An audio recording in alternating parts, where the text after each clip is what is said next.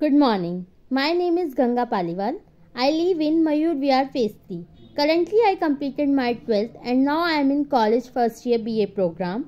I have completed my computer diploma and Tally course also.